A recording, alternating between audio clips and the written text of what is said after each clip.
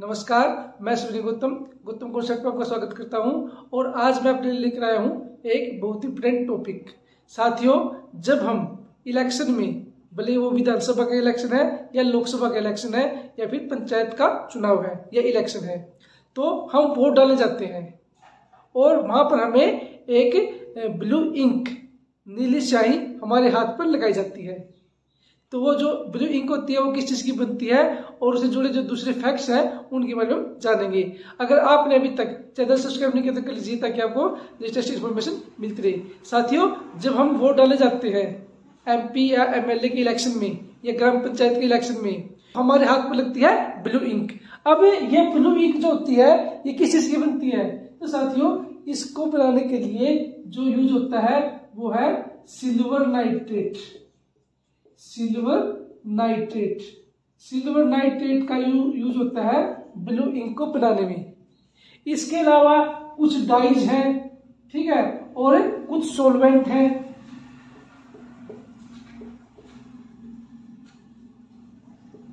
कुछ सोलवेंट है प्लस कुछ डाइज हैं। इनका एक तरह से कॉम्बिनेशन हो जाता है और ब्लू इंक बनकर तैयार होती है। लेकिन इसका एग्जैक्ट फॉर्मूला क्या है? ये आज तक सीक्रेट रखा गया है। इसके बारे में किसी को पता नहीं है, लेकिन मुख्यतः सिल्वर नाइट्रेट का यूज़ होता है इस ब्लू इंक को बनाने में। और इसके अलावा एक खास बात यह है कि जब ये इंक लगाई जाती है तो इसे वेरीफाई हो जाता है कि आपने वोट डाल दिया है, या आपने अपना मत यूज़ कर लिया है। दोस्तों, ये जो ब्लू इंक है इसका हमारी बॉडी के ऊपर कोई भी नेगेटिव जो इफ़ेक्ट है वो नहीं पड़ता। सबसे पहले इसका जो यूज़ किया गया था वो 1962 के चुनाव में किया गया था। उसका कारण ये था क्योंकि जब पहली बार इलेक्शन हुआ इंडिया के अंदर उन्नीस सौ बावन में ठीक है? उसके बाद उन्नीस सौ सत्तावन में उसमें ये, ये हुआ था कि एक व्यक्ति ने कई की बार वोट डाल ली। तो चुनाव आयोग ने इलेक्शन कमीशन ऑफ़ इंडिया ने क्या किया? इस ब्लू इंक का इस्तेमाल शुरू किया। जो मतलब कि एक तरह इंडिकेट करती थी कि यह व्यक्ति वोट डाल चुका है।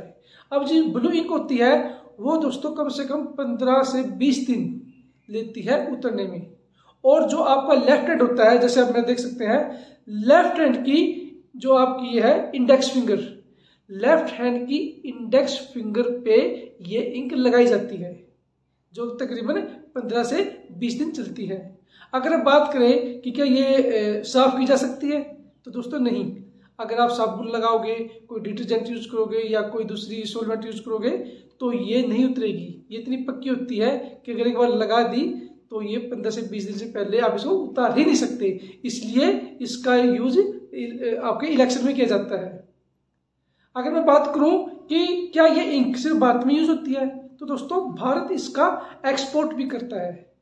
जैसे कि दुबई, सिंगापुर तुर्की, अफ़गानिस्तान, दक्षिण अफ्रीका, नेपाल, इंडिया कम से कम पैंतीस देशों में इस ब्लू इंक का एक्सपोर्ट करता है। तो आप देख लीजिए, इसकी कितनी डिमांड है। कुछ फैक्ट्स है इस ब्लू इंक के बारे में। मुझे उम्मीद है आपको समझ में आ चुका होगा कि ये ब्लू इंक कितने दिन में उतरती है, किस चीज़ से बनती है, कहाँ कहाँ पे इसका एक्सपोर्ट किया जाता है और क्या हमारी बॉडी के ऊपर इसके इफेक्ट्स हैं। अगर फिर भी आपकी क्वेरी है तो आप कमेंट बॉक्स में जाकर पूछ सकते हैं। आज के लिए thank you have next day